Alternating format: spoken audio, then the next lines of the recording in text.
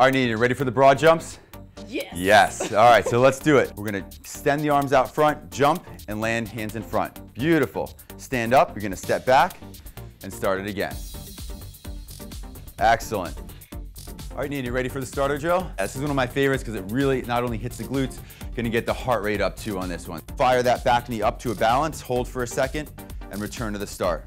Perfect, let's do one more of those. Beautiful. And then last one. Excellent. All right, you ready for a single leg hip thruster? Yes. Let's do it. This single leg hip thruster is one of my favorites for isolating the glutes and the hamstrings. I'm gonna have you lift one leg off the floor. Great, we're gonna keep your abs really, really tight and drop your hips all the way down to the floor as close as you can get and push back up. Perfect. So let's start going through some reps. Great position, and what I want you to think about at the top is taking a little extra second to really squeeze the glute on that pushing leg. Excellent. So with this exercise, Nina, you'd probably want to start with doing about three sets of 10 reps on each leg and taking 30 to 45 seconds rest in between each set. Perfect.